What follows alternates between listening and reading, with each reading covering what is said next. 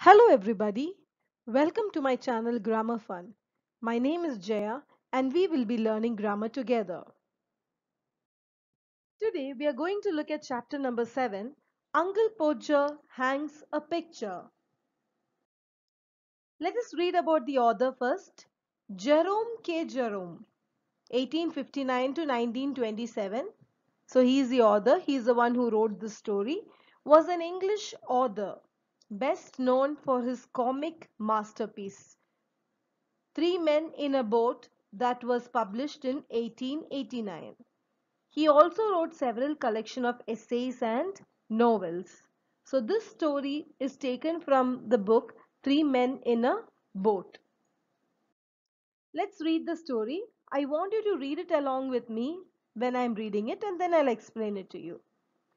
You never saw such a commotion up and down a house in all your life as when my Uncle Podger undertook to do a job.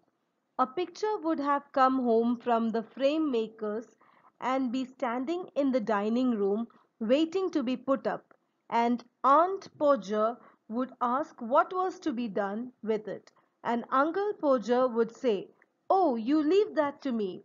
Don't you any of you worry yourself about that. I'll do all that. And then he would take off his coat and begin. He would send the girl out for sixpence worth of nails and then one of the boys after her to tell her what size it get to get and from that he would gradually work down and start the whole house. So this is about uh, Uncle Podger uh, so he's telling uh, he actually got a picture from the frame makers. So he wants to hang it in the dining room. And it's actually waiting to be put on. And Aunt Podger comes and asks so he says no no don't worry. I will do the work by myself. And then he sends the girl out to get the nails. And after that he sends a boy to tell her what size the nail should be. And once everything is done he starts the work. Now you go and get me my hammer, Will, he would shout, and you bring me the rule. Tom and I shall want the step ladder, and I had better have a kitchen chair too. And Jim, you run round to Mr. Gaggles and tell him, pass kind regards, and hopes his legs better, and will he lend him his spirit level.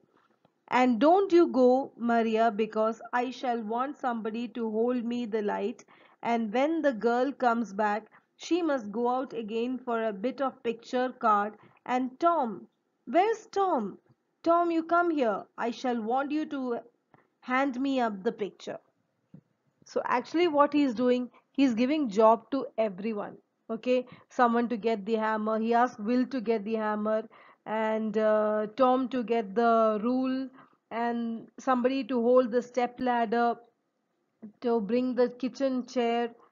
Uh, Jim to run to Mr. Gaggles, maybe his friend, to ask uh, about things and then are telling Maria not to go out because he might need somebody to help him with the light. And when the girl who went to get the nail comes back, to go for something else. And Tom, Tom should be the one to hand him the picture. So he's dividing the job among all the people. He's involving everyone. And then he would lift up the picture and drop it. And it would come out of the frame and he would try to save the glass and cut himself. And then he would spring round the room looking for his handkerchief. He could not find his handkerchief because it was in the pocket of the coat he had taken off and he did not know where he had put the coat and all the house had to be had to leave off looking for his tools and start looking for his coat while he would dance round and hinder them. So after that he will lift the picture he'll drop it it will come out of the frame it, he will get hurt the glass will break they will try to save the glass. All this will be happening and he will look for his handkerchief his handkerchief is in the coat and he doesn't know where the coat is so the whole house is roaming here and there finding his tools and coat and he is very happy dancing around doesn't anybody in the whole house know where my coat is I never came across such a set in all my life. Upon my word, I didn't. Six of you, and you can't find a coat that I put down not five minutes ago. Well, all of all the.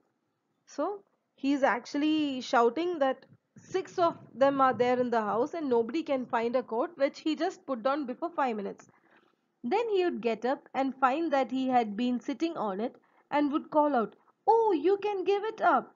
I found it myself now. Might just as well ask the cat to find anything as expect you people to find it. And then suddenly he remembers that he's sitting on it. And then he gets up and behaves like he has found the coat and he calls everybody back. Come, come, come, I have found the coat. It's better to give the job to the cat to find something than you people to find it. And when half an hour had been spent in tying up his finger, and a new glass had been got, and the tools and the ladder and the chair and the candle had been brought, he would have another go, the whole family, including the girl and the ch- charwoman, standing round in a semicircle ready to help. Two people would have to hold the chair, and the third would help him up on it and hold him there, and a fourth would hand him a nail, and the fifth would pass him up the hammer, and he would take hold of the nail and drop it. So he has the whole house doing jobs for him. like somebody to bring the hammer, somebody to bring the candle, somebody to bring the ladder, everyone. And then he needs somebody to hold the chair, somebody to put him on the chair, somebody to hold him on the chair, somebody to hand him the nail. So after all these things, he will drop the nail. There, he would say in an injured tone, now the nail's gone.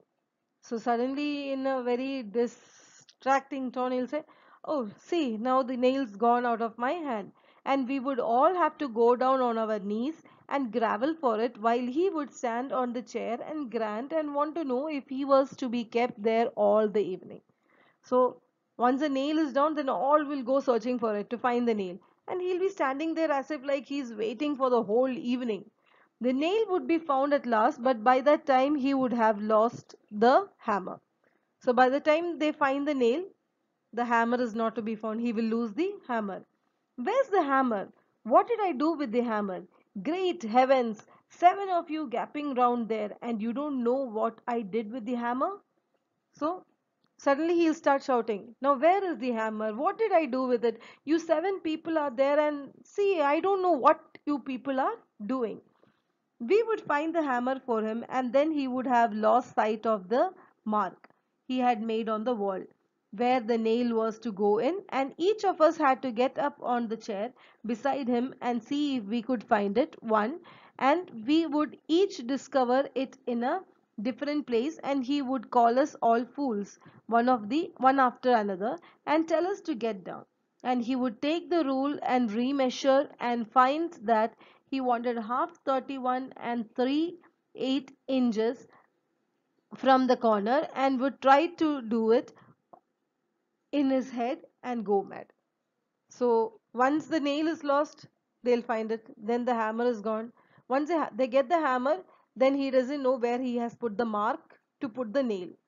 So what happened? Each one will get on the chair. They will try to see where the mark is, and all the seven will say different different places where he has put the mark. Then again he'll call everybody fools. Then they'll he will take the rule and then he will measure it again and calculate it in his mind and then get mad again.